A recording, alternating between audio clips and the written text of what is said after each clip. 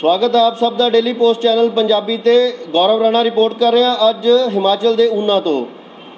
ਜੇਕਰ ਇਨਸਾਨ ਦੇ ਵਿੱਚ ਕਾਬਲੀਅਤ ਹੈ ਜਾਂ ਗੁਣ ਹੈ, ਅਗਰ ਉਹ ਗੁਣ ਨੂੰ ਸਹੀ ਤਰੀਕੇ ਨਾਲ ਯੂਜ਼ ਕਰੇ, ਤਾਂ ਉਹ ਗੁਣ ਉਸ ਦਾ ਉਸ ਨੂੰ ਜ਼ਿੰਦਗੀ ਭਰ ਦੇ ਲਈ ਜੀਵਨ ਜੀਣ ਦਾ ਸਹਾਰਾ ਤਾਂ ਬਣ ਹੀ ਸਕਦਾ ਹੈ, ਨਾਲ ਹੀ ਆਰਥਿਕਤਾ ਨੂੰ ਕਿਤੇ ਉੱਪਰ ਲੈ ਕੇ ਜਾ ਸਕਦਾ ਹੈ। ਇੱਕ ਐਸੀ ਹੀ ਮਿਸਾਲ ਲੈ ਕੇ, ਇੱਕ ਐਸਾ ਹੀ ਅੱਜ ਤੁਹਾਡੇ ਨਾਲ ਨਵਾਂ ਕਿੱਸਾ ਲੈ ਕੇ ਉਹਨਾਂ ਤੋਂ ਰੂਬਰੂ ਹੋਏ ਆ ਬੇਸ਼ੱਕ ਜਿਸ ਥਾਂ ਤੋਂ ਅਸੀਂ ਰਿਪੋਰਟ ਕਰ ਰਹੇ ਹਾਂ ਵੇਖਣ ਨੂੰ ਇੱਕ ਛੋਟਾ ਜਿਹਾ ਢਾਬਾ 8 ਬਾਈ 20 ਫੁੱਟ ਲੰਬਾ ਢਾਬਾ ਨਜ਼ਰ ਆਉਂਦਾ ਹੈ, ਪਰ ਜੋ ਹਾਲਾਤ ਮਿਹਨਤ ਨਾਲ ਤੇ ਆਪਣੇ ਗੁਣ ਦੇ ਨਾਲ ਇਹਨਾਂ ਨੇ ਪੈਦਾ ਕਰ ਲਿਆ ਕਿ ਤੁਹਾਨੂੰ ਸ਼ਾਇਦ ਸੁਣਨ ਤੇ ਵੀ ਯਕੀਨ ਕਰਨਾ ਮੁਸ਼ਕਲ ਹੋਏਗਾ ਕਿ ਉਹਨਾਂ ਦੇ ਇਸ ਛੋਟੇ ਜਿਹੇ ਢਾਬੇ ਦੀ ਜੋ ਦਾਲ ਹੈ, ਅੱਜ ਪੂਰੇ ਕਈ ਰਾਜਾਂ ਦੇ ਵਿੱਚ ਇਸ ਕਦਰ ਮਸ਼ਹੂਰ ਹੋ ਚੁੱਕੀ ਹੈ ਕਿ ਦਾਲ ਤਿਆਰ ਤਾਂ ਉਹਨਾਂ ਦੇ ਵਿੱਚ ਹੁੰਦੀ ਹੈ ਮਗਰ ਰਾਤ ਦੇ ਡਿਨਰ ਦੇ ਟੇਬਲ ਤੇ ਦਿੱਲੀ ਬੰਬੇ ਤੱਕ ਪਹੁੰਚ ਜਾਂਦੀ ਹੈ ਤੇ ਇਹ ਸਾਰਾ ਜੋ ਤੁਸੀਂ ਧਾਮਜਾਮ ਦੇਖ ਰਹੇ ਹੋ, ਜੋ ਸਾਰਾ ਇਹ ਮਿਹਨਤ ਦਾ ਨਤੀਜਾ ਦੇਖ ਰਹੇ ਹੋ, ਇਹ ਬਜ਼ੁਰਗ ਸਨ ਇਹਨਾਂ ਦੇ, ਮਿਲਖੀ ਰਾਮ, ਜੋ ਕਿ ਲਾਹੌਰ ਦੇ ਵਿੱਚ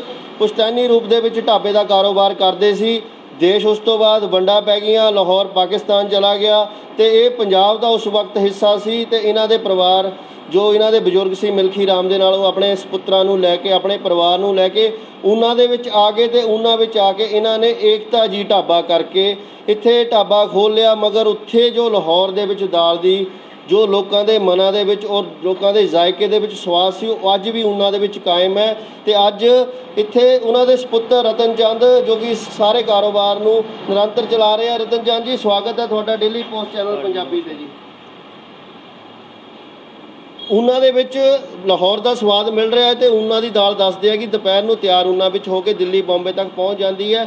ਆਖਿਰਕਾਰ ਐਸੀ ਕੀ ਕੁਆਲਿਟੀ ਹੈ ਦਾਲ ਦੇ ਵਿੱਚ? ਔਰ ਇਹ ਕਿਸ ਤਰ੍ਹਾਂ ਬਾਹਰਲੇ ਜੋ ਸੂਬਿਆਂ ਵਿੱਚ ਵੀ ਜਾ ਰਹੀ ਹੈ ਔਰ ਅੰਮ੍ਰਿਤਸਰ ਜਲੰਧਰ ਤੱਕ ਪਹੁੰਚਦੀ ਹੈ? ਥੋੜਾ ਇਸ ਬਾਰੇ ਜਾਣਨਾ ਜਿਹੜੇ ਵਪਾਰੀ ਆਂਦੇ ਨਾ ਜੀ ਅੰਮ੍ਰਿਤਸਰ ਪੰਜਾਬ ਤੇ ਵਪਾਰੀ ਆਂਦੇ ਜੀ।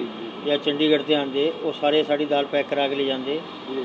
ਸੋਨੀਪਤ ਦਿੱਲੀ ਜਿੰਨੇ ਵੀ ਵਪਾਰੀ ਹੈ ਆਂਦੇ ਸਾਡੀ ਦਾਲ ਪੈਕ ਕਰਾ ਕੇ ਲੈ ਜਾਂਦੇ। ਲੋਕਲ ਵੀ ਸਾਡੀ ਦਾਲ ਬਹੁਤ ਪਸੰਦ ਕੀਤੀ ਜਾਂਦੀ। ਜੀ ਉਹ ਦੱਸਦੇ ਆ ਕਿ ਜੋ ਏਕਤਾ ਢਾਬੇ ਦੀ ਦਾਲ ਹੈ ਦੁਪਹਿਰੇ ਤਿਆਰ ਤਾਂ ਉਨੇ ਵਿੱਚ ਹੁੰਦੀ ਹੈ ਸ਼ਾਮ ਨੂੰ ਦਿੱਲੀ ਬੰਬੇ ਪਹੁੰਚ ਜਾਂਦੀ ਹੈ। ਉਹ ਵਪਾਰੀ ਕਿਸ ਤਰ੍ਹਾਂ ਬਾਈ 에ਅਰ ਲੈ ਕੇ ਜਾਂਦੇ ਆ ਜਾਂ ਕਿਸ ਤਰ੍ਹਾਂ ਥੋੜਾ ਇਸ ਬਾਰੇ ਜਾਣਨਾ ਪਊ? ਜਿਹੜੇ ਚੰਡੀਗੜ੍ਹ ਤੇ ਬਾਈਕ ਬਾਈ ਆਪਣੀ ਕਾਰ ਲੈ ਕੇ ਆਂਦੇ ਉੱਥੋਂ ਬਾਈ 에ਅਰ ਜਾਂਦੇ ਉਹ ਬਾਹਰਲੇ ਮਤਲਬ ਮੁਲਕਾਂ 'ਚ ਲੈ ਕੇ ਜਾਂਦੇ। ਕਿੰਨੇ ਘੰਟੇ ਦਾਲ ਬਿਨਾ ਖਰਾਬ ਹੋਏ ਰਹਿ ਜਾਂਦੀ 10 ਘੰਟੇ ਤੱਕ ਦਾਲ ਨਹੀਂ ਖਰਾਬ ਹੁੰਦੀ ਸਾਡੀ। ਅੱਛਾ ਜੀ। ਦਾਲ ਵਿੱਚ ਐਸਾ ਕੀ ਪਾਉਂਦੇ ਹੋ ਕਿ ਦਾਲ ਇੰਨੀ ਸਵਾਦ ਲਈ ਹੈ? ਬਾਕੀ ਚੀਜ਼ਾਂ ਵੀ ਖੈਰ ਤੁਸੀਂ ਬਣਾਉਂਦੇ ਆ ਪਰ ਤਾਂ ਢਾਬੇ ਦੀ ਜੋ ਦਾਲ ਹੈ ਉਹ ਉਹ ਵਾਕਈ ਮੰਨਣਯੋਗ ਹੈ। ਅਸੀਂ ਖੁਦ ਵੀ ਚੱਖ ਚੁੱਕੇ ਹਾਂ ਔਰ ਇਸ ਵਿੱਚ ਕੀ ਕੀ ਤੁਸੀਂ ਕੁਆਲਿਟੀ ਪਾਉਂਦੇ ਹੋ? ਥੋੜਾ ਇਸ ਬਾਰੇ। ਇਹਦੇ ਜਿਹੜੇ ਮਸਾਲੇ ਹੁੰਦੇ ਉਹ ਵਿਦਆਊਟ ਤੇਲ ਨਿਕਲੇ ਹੋਏ ਹੁੰਦੇ। ਓਰੀਜਨਲ ਮਸਾਲੇ ਪਾਉਂਦੇ ਹੈ। ਆਪਣੇ ਪਿਸਾ ਕੇ ਪਾਉਂਦੇ ਹੈ ਅਸੀਂ ਜੀ और अमूल का मक्खन यूज करते हैं ऐसी ਵੇਰਕਾ ਤੇ ਮੂਲ ਦੋਨੋਂ हाँ दोनों वही मक्खन यूज करते हैं बाकी और कोई मक्खन नहीं यूज करते हैं ऐसी ਜੀ ਤੇ ਕੋ ਦਾਲ ਮੱਖਣੀ ਮੰਗੇ ਤੇ ਦਾਲ ਮੱਖਣੀ ਦਾਲ ਫਰਾਈ ਦਿੰਦੇ ਹੋ। ਬਿਲਕੁਲ ਜੀ। ਜੋ ਇਹ ਕਿਸ ਤਰ੍ਹਾਂ ਮਨ ਵਿੱਚ ਆਇਆ ਸੀ ਇਹ ਦਾਲ ਦਾ ਕਨਸੈਪਟ ਬਾਕੀ ਚੀਜ਼ਾਂ ਵੀ ਬਣਾਉਂਦੇ ਹੋ ਟੇਸਟ ਨਿਰੰਤਰ ਬਣਿਆ ਹੋਇਆ ਹੈ। ਇਸ ਦੇ ਪਿੱਛੇ ਕੀ ਕੋਈ ਰਾਜ ਵੀ ਹੈ ਜਾਂ ਕੋਈ ਆਹੀ ਚੀਜ਼ਾਂ ਜੋ ਪਰਮਾਤਮਾ ਨਹੀਂ ਨਹੀਂ ਜੋ ਪਰਮਾਤਮਾ ਦਾ ਹੁਕਮ ਹੈ ਉਹੀ ਹੈ ਕੋਈ ਇਦਾਂ ਦੀ ਚੀਜ਼ ਨਹੀਂ ਹੈ। ਅੱਛਾ ਮਸਾਲੇ origignal ਹੈ ਸਾਡੇ ਸਾਰੇ। ਅੱਛਾ ਜੀ। ਹੋਰ ਕੋਈ ਐਸੀ ਚੀਜ਼ ਨਹੀਂ ਹੈ ਜੀ ਅਸੀਂ ਪਾਉਂਦੇ ਹਾਂ। ਹੁਣ ਅੱਜ ਕੱਲ ਤਾਂ ਲੋਕਡਾਊਨ ਚੱਲ ਰਿਹਾ ਲਗਭਗ ਸਾਰੇ ਕਾਰੋਬਾਰਾਂ ਤੇ ਮਾਰ ਪੈ ਗਈ ਹੈ। ਜਦੋਂ ਦੱਸਦੇ ਆ ਕਿ ਲੋਕਡਾਊਨ ਨਹੀਂ ਸੀ 3-3000 ਬੰਦਾ ਦਾਲ ਖਾ ਲੈਂਦਾ। ਅੰਦਾਜ਼ਾ ਕਿੰਨੀ ਦਾਲ ਉਹਨਾਂ ਦਿਨਾਂ ਵਿੱਚ ਭਿਓ ਦਿੰਦੇ ਸੀ ਤੁਸੀਂ? ਹੁਣ ਤਾਂ ਸਾਡਾ ਬੱਸ ਅੱਡਾ ਚਲੇ ਗਿਆ ਇੱਥੋਂ ਕੰਮ ਬਹੁਤ ਘਟ ਗਿਆ ਹੈ।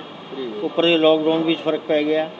ਉਸ ਟਾਈਮ ਸਾਡੀ 30 40 ਕਿਲੋ ਦਾਲ ਰੋਜ਼ ਬਣ ਜਾਂਦੀ 30-40 ਕਿਲੋ ਦਾਲ। ਸੀ ਅ, ਤੁਸੀਂ ਬਿਲਕੁਲ ਸਕਰੀਨ ਤੇ ਸੁਣ ਰਹੇ ਹੋ 30-40 ਕਿਲੋ ਦਾਲ ਜੇਕਰ ਆਮ ਸ਼ਹਿਰਾਂ ਦੇ ਵਿੱਚ ਜਾਂ ਪਿੰਡਾਂ ਦੇ ਵਿੱਚ ਕੋਈ ਲੋਕ ਭੰਡਾਰੇ ਕਰਦੇ ਆ, ਜਿੰਨਾ ਕੁ ਸਾਡਾ ਵੀ ਅੰਦਾਜ਼ਾ ਹੈ ਤੇ 8 ਤੋਂ 10 ਕਿਲੋ ਦਾਲ ਉਹ ਬਣਾਉਂਦੇ ਆ ਤੇ ਉਹਦੇ ਨਾਲ ਕਰੀਬ ਕਰੀਬ 1.5 ਤੋਂ 2000 ਬੰਦਾ ਭੁਗਤ ਜਾਂਦਾ ਜੇ 30-40 ਕਿਲੋ ਦਾਲ ਲੱਗ ਜਾਂਦੀ ਤਾਂ ਵਾਕਈ ਆਪਣੇ ਆਪ 'ਚ ਗੁਣਾ ਹੈ।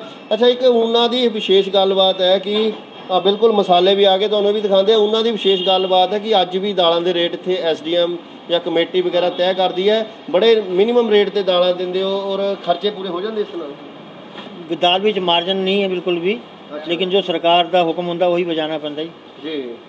ਔਰ ਔਰ ਹੁਣ ਵੀ ਰੇਟ ਜਿਹੜੇ ਸਰਕਾਰ ਤੈਅ ਕਰਦੀ ਹੈ। ਸਰਕਾਰੀ ਤੈਅ ਕਰ ਬਿਲਕੁਲ ਤੁਹਾਨੂੰ ਦੱਸਣਾ ਚਾਹਾਂਗੇ ਕਿ ਹਿਮਾਚਲ ਦਾ ਉਨਾ ਇੱਕ ਹੋਰ ਜ਼ਿਲ੍ਹਿਆਂ ਦੇ ਵਿੱਚ ਵੀ ਹੋ ਸਕਦੀ ਹੈ ਪਰ ਇੱਥੇ ਦੀ ਅਸੀਂ ਕਿਉਂਕਿ ਅਸੀਂ ਖੁਦ ਦੇਖਿਆ ਏ ਇੱਥੋਂ ਦੇ ਜੋ ਐਸਡੀਐਮ ਹੈ ਉਹ ਦਾਲ ਸਬਜ਼ੀ ਦੇ ਰੇਟ ਤੈਅ ਕਰਦੇ ਨੇ। ਤੇ ਪ੍ਰਾਈਸ ਦੀ ਜੇ ਗੱਲ ਕਰੀਏ ਖੈਰ ਦਾਲ ਦਾ ਜੋ ਕਾਰੋਬਾਰ ਹੈ ਇਹਨਾਂ ਦੇ ਵੀ ਇੱਕ ਮਨ ਚ ਹੈ ਕਿ ਖਰਚਾ ਹੀ ਪੂਰਾ ਕਰਨਾ ਹੈ ਕਿ ਜੋ ਅਸੀਂ ਦੇਖਦੇ ਹਾਂ ਜੋ ਪੁਰਾਣੇ ਰੇਟਾਂ ਦੇ ਮੁਤਾਬਕ 50 ਰੁਪਏ ਪਲੇਟ ਸਿਰਫ ਦਾਲ ਦੀ ਜਿਹੜੀ ਹੈ ਉਹ ਕਸਟਮਰ ਨੂੰ ਦੇ ਦਿੰਦੇ ਨੇ। ਅੱਜ ਕੱਲ ਹੋਟਲਾਂ ਵਿੱਚ ਤੁਸੀਂ ਦੇਖਦੇ ਹੋ 120 150 200 ਤੱਕ ਦਾਲਾਂ ਆਮ ਮਿਲਦੀਆਂ ਨੇ। ਤੇ ਹੁਣ ਆਹ ਮਸਾਲੇ ਜੋ ਉਹਨਾਂ ਦੇ ਇੱਕ ਤਾਂ ਢਾਬੇ ਦੀ ਜਾਨ ਹੈ ਸਕਰੀਨ ਤੇ ਤੁਸੀਂ ਦੇਖ ਸਕਦੇ ਹੋ। ਰਤਨ ਚੰਦ ਜੀ ਦਿਖਾ ਰਹੇ ਨੇ। ਰਤਨ ਚੰਦ ਜੀ ਇਹਨਾਂ ਨੂੰ ਥੋੜਾ ਹੱਥ ਚ ਲਿਓ ਮਸਾਲਿਆਂ ਨੂੰ। ਕੀ ਕੀ ਚੀਜ਼ਾਂ ਇਹਦੇ ਵਿੱਚ ਥੋੜਾ ਜਾਣਕਾਰੀ ਦਿਓ ਜਰਾ। ਇਹਦੇ ਚ ਲੌਂਗ ਹੈ ਇਲਾਚੀਆਂ ਹੈ ਕਾਲੀ ਮਿਰਚ ਹੈ ਜੀਰਾ ਹੈ ਜਵੈਤਰੀ ਹੈ। ਅੱਛਾ। ਹਾਂਜੀ ਇਹ- ਗੁਲ- ਇਹ- ਇਹ ਲੋਕ ਤਾਂ ਗੁਲਾਬ ਦੇ ਫੁੱਲ ਹੈ। ਜੀ ਜੀ।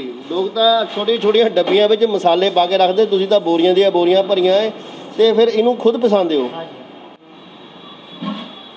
ਅੱਛਾ ਇਹ ਮਸਾਲੇ ਪਸੰਦ ਹੋ? ਤਾਂ ਬਿਲਕੁਲ ਤੁਸੀਂ ਦੇਖ ਸਕਦੇ ਹੋ ਕਿ ਆਪਣੇ ਗੁਣ ਨੂੰ ਔਰ ਕੁਆਲਿਟੀ ਨਾਲ ਕੋਈ ਸਮਝੌਤਾ ਨਹੀਂ ਕੀਤਾ। ਇੱਕ ਤਾਂ ਢਾਬੇ ਦੇ ਕਿਸ ਤਰ੍ਹਾਂ ਦੇ ਨਾਲ ਦਾਲ ਦੀ ਹਾਇਰ ਕੁਆਲਿਟੀ ਨੂੰ ਇਹ ਬਣਾਉਂਦੇ ਨੇ ਔਰ ਬਿਲਕੁਲ ਨੋਮੀਨਲ ਰੇਟ ਤੇ ਅੱਜ ਏਕਤਾ ਢਾਬੇ ਦੀ ਦਾਲ ਹੈ। ਜੇਕਰ ਅਸੀਂ ਗੱਲ ਕਰੀਏ ਤਾਂ ਪੰਜਾਬ ਦੇ ਵੱਖ-ਵੱਖ ਜੋ ਵਪਾਰੀ ਅੰਮ੍ਰਿਤਸਰ ਜਲੰਧਰੋਂ ਆਉਂਦੇ ਨੇ ਕਹਿੰਦੇ ਉਹ ਵੀ ਪਰਿਵਾਰਾਂ ਲਈ ਲੈ ਕੇ ਜਾਂਦੇ ਹਾਂਜੀ। ਉਹਨਾਂ ਦੇ ਬਾਰੇ ਜਾਣਕਾਰੀ। ਬਿਲਕੁਲ ਜੀ ਜੋ ਵਪਾਰੀ ਆਂਦੇ ਬਾਹਰ ਚੰਡੀਗੜ੍ਹ ਤੇ ਅੰਮ੍ਰਿਤਸਰ ਤੇ ਜਲੰਧਰ ਤੇ ਉਹ ਵੀ ਪੈਕ ਕਰਾ ਕੇ ਸਾਡੀ ਦਾਲ ਲੈ ਕੇ ਜਾਂਦੇ ਜੀ ਇੱਥੇ ਕੁਝ ਹੋਰ ਬੈਠੇ ਵੀ ਦਿਖਾਈ ਦੇ ਰਹੇ ਨੇ ਮਾਤਾ ਜੀ ਦਿਖਾਈ ਦੇ ਰਹੇ। ਮਾਤਾ ਜੀ ਦਾਲ ਏਕਤਾ ਢਾਬੇ ਦੀ ਖਾਣ ਆਏ ਹੋ। ਕਿਸ ਤਰ੍ਹਾਂ ਦਾਲ ਅੱਛੀ ਬਣਦੀ ਹੈ ਇਹਨਾਂ ਦੀ? ਹਾਂਜੀ ਮੈਂ ਅੰਮ੍ਰਿਤਸਰ ਤੇ ਆਈ ਹਾਂ। ਅੰਮ੍ਰਿਤਸਰ ਤੋਂ ਆਏ ਹੋ? ਹਾਂਜੀ ਦਾਲ ਖਾਣ ਵਾਸਤੇ ਹੀ ਨਹੀਂ ਅੰਮ੍ਰਿਤਸਰ ਤੋਂ ਅੱਜ ਇੱਥੇ ਕਿਸੇ ਹੋਰ ਕੰਮ ਲਈ ਆਏ ਸੀ ਜਾਂ? ਨਹੀਂ ਨਹੀਂ ਕੰਮ ਵਾਸਤੇ ਵੀ ਆਈ ਸੀ ਤੇ ਦਾਲ ਖਾਣੀ ਖਾਣੀ ਸੀ। ਅੱਛਾ ਕੀ ਕੰਮਕਾਰ ਕਰਦੇ ਹੋ ਕੋਈ ਜਾਂ ਇੱਥੇ ਰਹਿੰਦੇ ਹੋ? ਨਹੀਂ ਨਹੀਂ ਅਸੀਂ ਅੰਮ੍ਰਿਤਸਰ ਹੀ ਰਹਿੰਦੇ ਹਾਂ ਅੰਮ੍ਰਿਤਸਰ ਰਹਿੰਦੇ। ਆ ਅੱਛਾ ਅੰਮ੍ਰਿਤਸਰ ਤੋਂ ਅੱਜ ਕੰਮ ਆਏ ਸੀ ਤੇ ਸਪੈਸ਼ਲ ਦਾਲ ਖਾਣ ਦੇ ਹਾਂ ਲਈ ਸਪੈਸ਼ਲ ਦਾਲ ਵਾਸਤੇ ਹੀ ਇੱਕ ਸਵਾਦ ਲੱਗਦੀ ਹੈ ਦਾਲ? ਹਾਂਜੀ। ਕੀ ਗੱਲ ਕੀ ਖਾਸੀਅਤ ਲੱਗਦੀ ਹੈ ਇਹਨਾਂ ਦੀ ਦਾਲ ਵਿੱਚ ਤੁਹਾਨੂੰ? ਉਹ ਪਤਾ ਨਹੀਂ ਕੋਈ ਕੁਦਰਤ ਰੱਬ ਵੱਲੋਂ ਬਹੁਤ ਸਵਾਦ ਹੈਗਾ ਦਾਲ 'ਚ।